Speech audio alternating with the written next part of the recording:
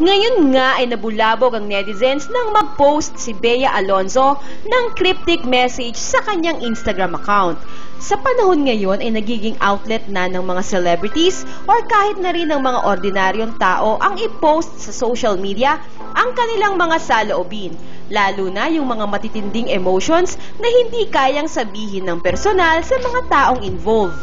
Paraan na rin kasi ito ng mga tao ngayon para kahit papaano ay mabawasan ang bigat sa dibdib na kanilang dinadala sanhi ng mga stressful situations sa kanilang buhay.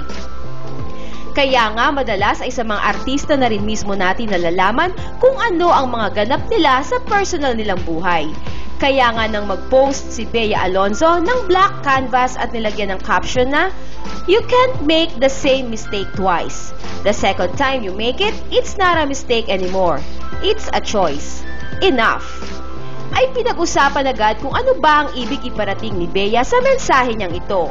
Isang fan ni Bea Alonzo ang may IG name na Cabrera Cat ang nag-post ng picture ni na Gerald Anderson, boyfriend ni Bea Alonzo na kasama si Julia Barreto.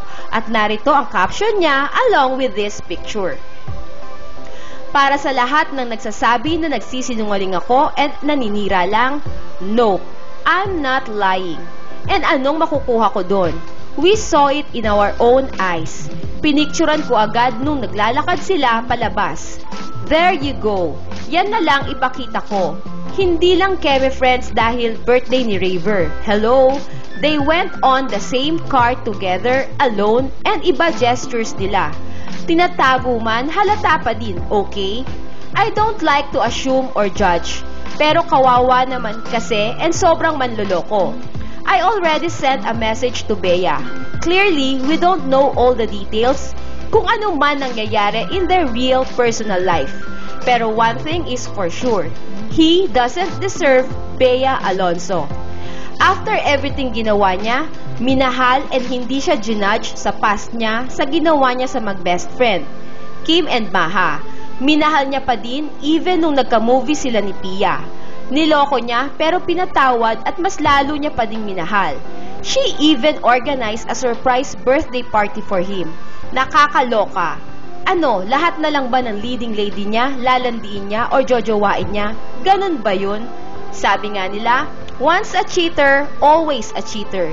I adore and love Bea so much. I hope, masakit man o mahirap, sana hiwalayan niya na ng tuluyan si Gerald.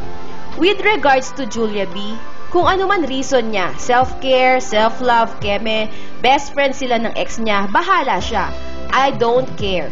Basta, we are here for Bea. We love her and she deserves better. She liked my photo and posted a confirmation. Enough!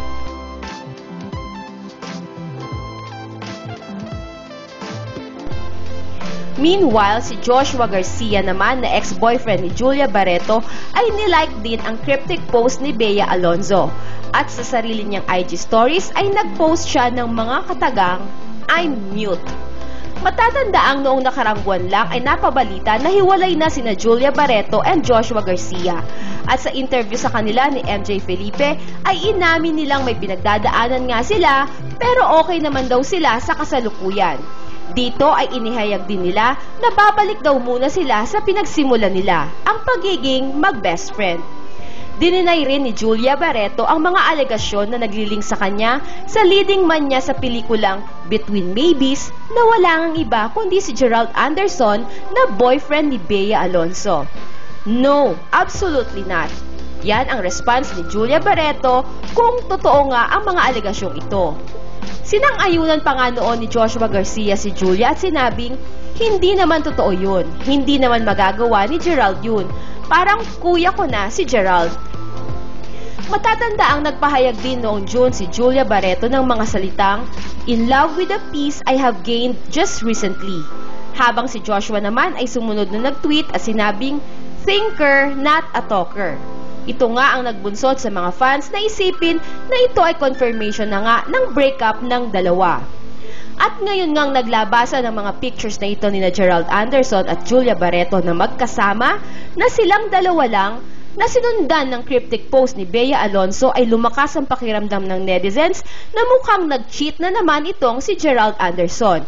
Matatanda ang nagkaroon ng gap ang mag-best friend na sina Maha Salvador at Kim Chu na si Gerald Anderson din ang dahilan. Noon namang October 2018 na magkaroon ng movie sina Gerald Anderson at Pia Wurzbach ay umugong din ang balitang naging on the rocks ang relationship ni Bea at Gerald. Inunfollow kasi ni Bea sa Instagram sina Gerald at Pia.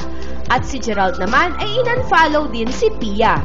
Noong huli ay inamin naman ni Gerald na nagkaroon daw kasi sila ng misunderstanding ni Bea. Bunsod nga ng balitang ito ay may kanya-kanyang reaksyon ng netizens.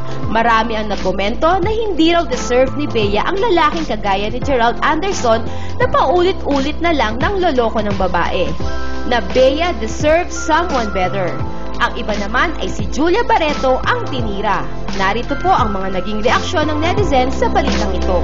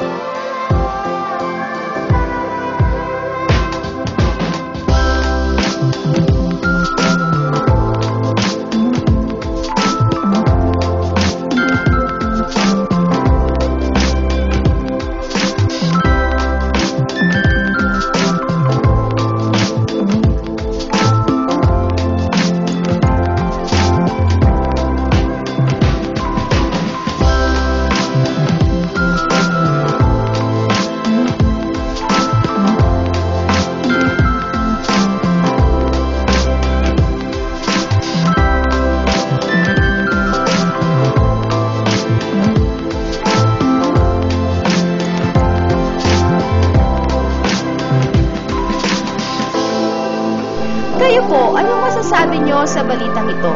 Share us your thoughts and comments below and don't forget to subscribe to Showbiz Broadcast.